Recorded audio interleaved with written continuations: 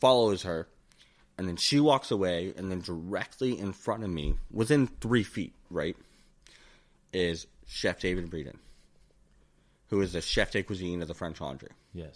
and whose name was on the resume, right? So I, I wrote it to Chef David Breeden. Yeah. And so I'm holding that in my hand. I'm holding the bottle of wine. I look at Chef David and I said, Chef, if you have a moment of time, I would like to chat with you. And he looks at me, he looks me up and down, and he says, Absolutely, follow me this way. And in my head, I'm like, What the fuck? yeah. Like, I'm like, holy shit. And we go outside, sit down at this table. I put the resume down to make sure he sees his name, and then I put the bottle of wine down to make sure he saw where it said relentless.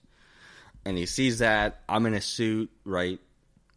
And he's like, you can just tell in his head, he's like, who is this kid? yeah. you know? And I was like, Chef, I know you're very busy. I'm out here staging for two weeks. I'm an apprentice. I just graduated from, you know, Sea Island Resorts.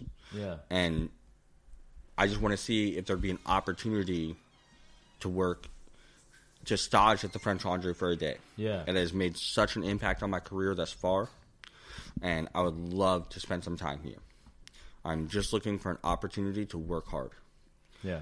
and we literally chatted for like 45 minutes and he asked me about georgia he asked me about you know when towards the end of my time at georgia i wa- was running the breakfast restaurant there Yeah.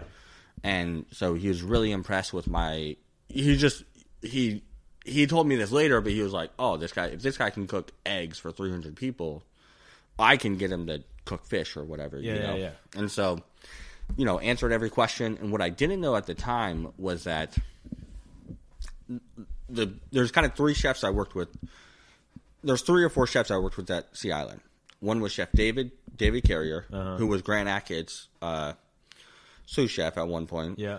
Another was a guy named Daniel Zeal, who worked under a chef named Scott Crawford. Okay. Now, Scott Crawford was actually Chef David Breeden's chef at the Woodlands back in Tennessee. Whoa. And I didn't know that at the time, but Chef David put that together. And so, uh, he put that together, and I think that's what sparked just enough curiosity Yeah. to continue talking to me, Uh-huh. and not just you know. I mean, he was a very busy chef, you know, Fuck yeah. and so This is lunch service, right? there's lunch service, yeah. and honestly, I learned later that it wasn't. It was his day off. He wasn't even supposed to be there that day, and so it just worked out perfectly, Yeah. you know. And so we had this conversation. We get to the end of the conversation, and he was like, "Do you have black socks? Yes, chef. Black pants? Yes, chef. White T-shirt? Yes, chef. Sharp knives? Yes, chef." I was like, "Okay." Be here Sunday at noon. The gold door in the back, Yeah. and I was like, "Yes, chef." And so I show up Sunday at noon. Gold door in the back. At the time, honestly, I thought he was messing with me. I was like, "What restaurant has a gold door?" Yeah. you know. and why would they put the gold door in the back? and so, truly, I was like, "All right, well, this sucks." Yeah. I'm getting punked. Yeah. You know? And I show up.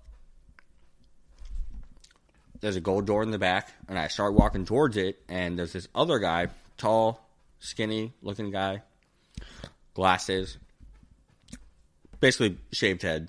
Yeah. And he's like running towards the door with a Lexan full of mise en place, right? Yeah. And you could tell it was it was very organized, you know. Yeah. But you could tell that at no point had he thought about opening the door. Yeah. right? And so I reach forward and I open the door, and then he like notices me and he's like, "Oh, thanks." And then I was like, "Hi, I'm Jason. I'm here for, to stage." And that actually, the first person that I ever saw at the French Laundry after I talked to Chef David was Tyler. Whoa. Tyler Vorce. Yeah, He's from episode one. yeah, Awesome. Is that what a it couldn't be a better person to be the first person you met at the French Laundry. oh yeah, Yeah. So uh, you meet him, and then he went and you know got chef, and then I staged that day, and then at the end of the day, Chef David told me to give him a call when I got back to Georgia. yeah, Gave him a call when I got back to Georgia, and he offered me a position. very cool. And then uh, at this point, is there any lag in you going back, or did you just get on a plane and go right back? He scheduled it three months out. Oh wow. Okay. Yeah. Okay, so you had time to get your shit together.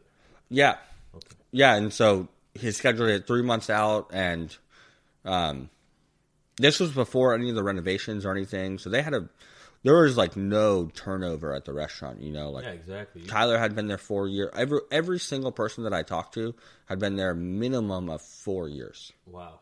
Yeah, and so, um, you know, I was very fortunate to get a position there. Yeah. And, you know, I called my mom. I told my mom. You know, she started crying, and then Of course, man. At this point, she's sending you clippings of Thomas Keller, and you know that must have been a proud day for her. and so I had three months. I went back to work. I got another another job, Yeah. and for three months, I was I was terrified at the oppor- at like the potential of like, um, I don't know, like like I missed my flight or something, Yeah. and then I don't have break enough. your leg, and then you're like, I can't. You know. Yeah, I I was so scared of not having enough money in the bank to cover anything. So for three months, I I got two jobs and I worked. It came out to around hundred hours a week, and I did that for three months straight. And then got to the end of it, and honestly, I ended up in the hospital because my body started shutting down. Yeah. You work so much sometimes your body's just like, nah, we're not doing this anymore. Yeah, and so one night I went to the ER. My throat started closing up. I got Yeah. rashes, and apparently, if you work that much, it's the same thing as having like a like a like an autoimmune disease attack, Whoa. where your body can't fight off little like uh, viruses and things like that. Yeah. And so, uh, took a couple days off, and then flew to California. Start your start your life. Now, did you get put up somewhere? Did you have an apartment? So I flew to California. Yeah. um, I after I staged, I started looking on Craigslist, found an apartment, and made a deal with this guy to. It was seven hundred bucks a month. I was like, "Yo, I'm gonna be out here this day, right?" Yeah. And again, I didn't have anything lined up. I was like, "I'm gonna be out here this day," and um, he agreed to hold the posi- hold the spot for me, and so got out there, got this apartment. I'm unpacking my bags. I put the suitcases in the closet. I look at the shelf, Yeah. and written underneath this shelf shelf was a, a note, and it said something like a like uh, a Yountville's been great. Now off to Chicago, D.C. And it was a note from the chef I worked for in Georgia, from when he lived in that apartment when he worked at the French Laundry. What the fuck? Yeah, That is crazy. But once again, we talk about that shit on the show all the time. Legacy. yeah, Just you know, people knowing people through hard work and diligence. That's that's cool, man. Hell yeah. So then you knew that was a sign right there. You're like, I'm right. I'm right where I need to be. it was crazy. You know.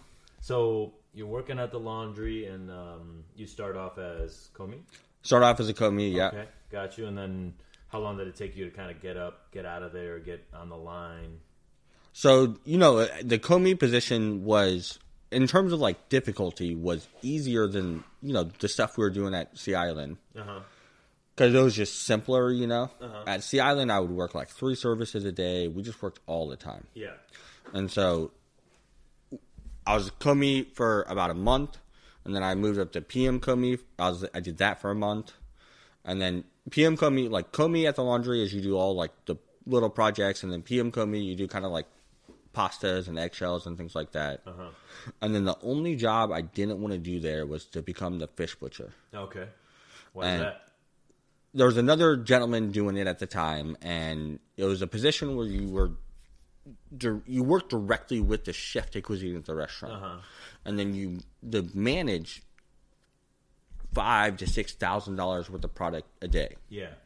you know, and I was like, the fastest way I'll probably get fired, you know what I mean, is the fact that I don't know how to cut fish. Yeah.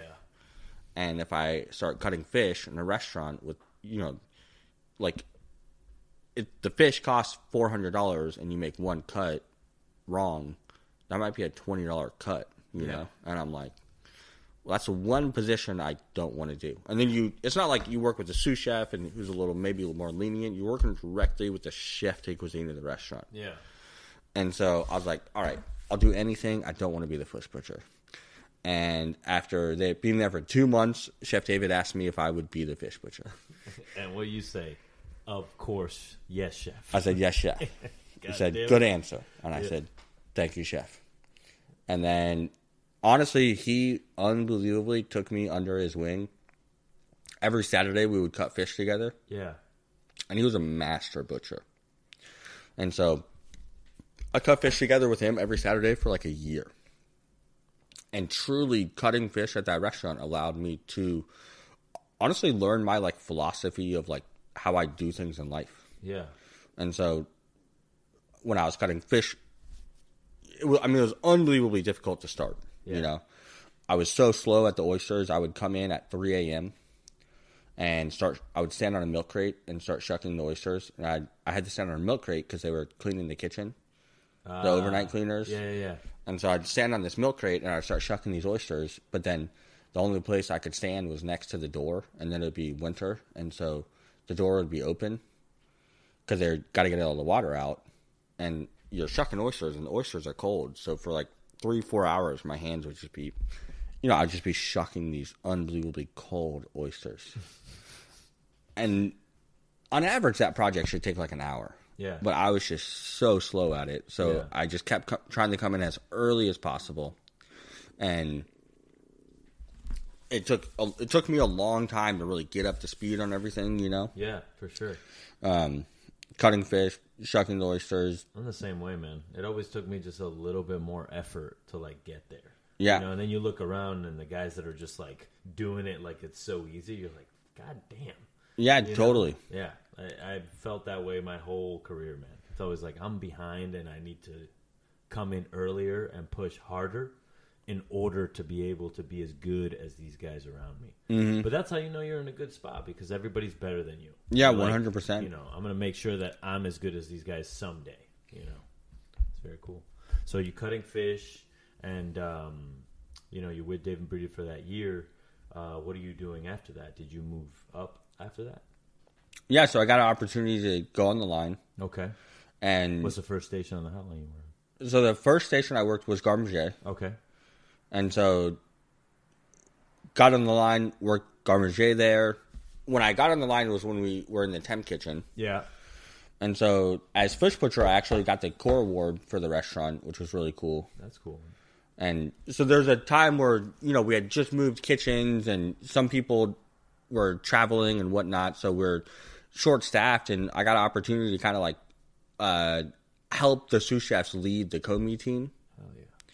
And it was really cool. And I got recognized by Chef Keller and Chef David Breeden and Michael Minnillo. And it was, you know, it, it meant a lot to me that they would give me that reward, you know? Yeah. Um, and so moved from there onto the line. Yeah.